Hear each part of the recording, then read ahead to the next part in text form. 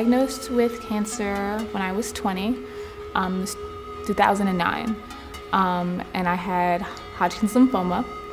Um, I found out because I literally couldn't breathe. Um, I had to be in a wheelchair for about three months until the tumor reduced.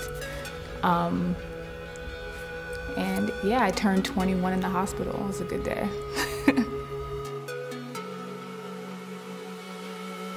So I actually was diagnosed with two different cancers in one year.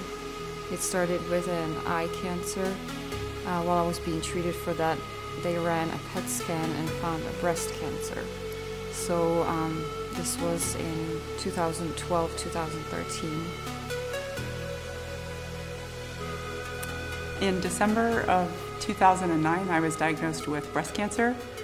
Uh, it was found at a well woman check, and then I was treated in all of 2010 um, with a few surgeries and radiation and chemo, and I'm glad to say that I'm a survivor today.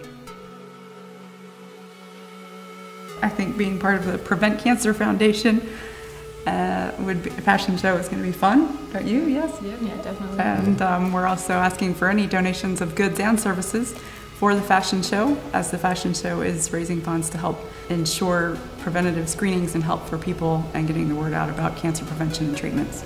You know, I want to put the word out there and help people realize, you know, that this is a reality to anyone and everyone. And it's not just about the individual fighting, but it's about us coming together as a community and fighting together.